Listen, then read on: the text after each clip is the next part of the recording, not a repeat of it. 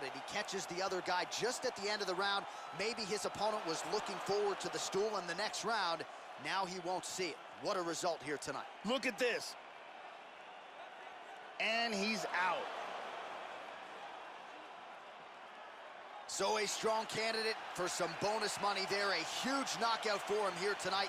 Near perfect execution. They'll be talking about